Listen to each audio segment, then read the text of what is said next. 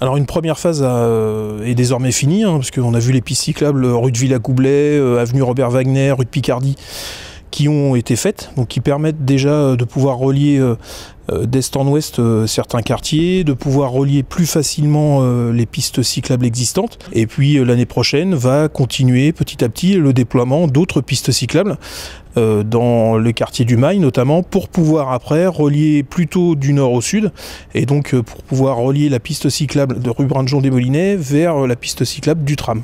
Comme sur la rue de Villacoublay, ça reste, ça reste un essai, on a des retours. Les salariés sont plutôt satisfaits. Euh, on a plutôt des bons retours sur le fonctionnement des pistes cyclables. Euh, les projets sont euh, toujours à améliorer. Mais on a, on a plutôt de bons retours et elles sont plutôt bien utilisées.